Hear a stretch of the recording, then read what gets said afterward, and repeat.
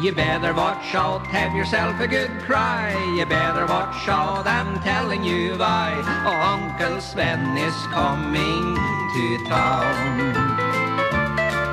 He's making a list and checking at once. and That is because he is such a dunce. Uncle Sven is coming to town. You can't tell if he's sleeping or if he is awake. He don't know if you're bad or good, so be bad for goodness sake. Oh, Jiminy Christmas, that Uncle Sven.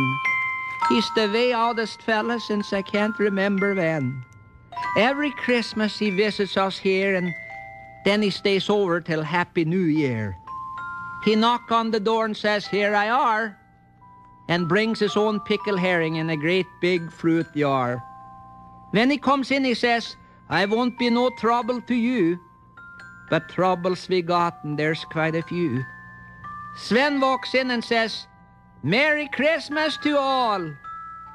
And my wife and me, we got to sleep out in the hall. He stays in the bathroom for two or three hours, shaving and things and taking those showers. He drink up all the booze he can find and he says it's good for me. It helped me unwind. He takes a drink in the morning, his nerves to improve, and by noon he's so steady he can't even move. Stoned, huh? He eat everything that we have in the house, and he doesn't even leave nothing for our pet Christmas mouse. Then after New Year's we say, Goodbye, Uncle Sven. But we know that next year it will happen again.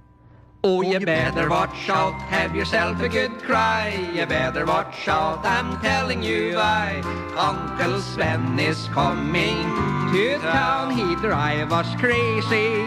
Uncle Sven is coming to town, but we still love him. Uncle Sven is coming to town.